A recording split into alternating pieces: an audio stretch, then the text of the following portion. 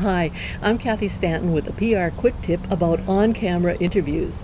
Sitting down for an interview for the first time, most people wonder where do I look? At the interviewer or at the camera? Unless you're told otherwise, always look at the person you're talking to, same as in any other conversation. Otherwise, here's what can happen. Hey, she's asking me questions, but the camera is over there, so maybe I should be looking at the camera. Or not. On the other hand, the producer is over here. No, the camera over there. Interviewer here. Oh my god. That's an exaggerated example, of course. But if your eyes are darting during an interview, you do tend to look nervous or out of control or even a little shifty. The classic advice for on camera interviews is let the camera find you.